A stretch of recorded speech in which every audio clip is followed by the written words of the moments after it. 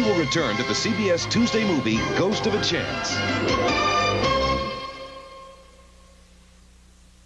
Thursday night. It's dead. Open up. I'll take care of it. No one has to know. Who will pay for the ultimate sin on the season finale of Knots Landing? Then, Friday night, you've read about them. That's how big this thing is, Sue Ellen. You've heard about them. Wendell, you touch that painting and I'll kill you where you stand. Now, see them for yourself. They sowed the wind. If I had a mad dog in my backyard, I'd shoot him. Now they reap the whirlwind. Two nights, three shocking season finales, Thursday and Friday.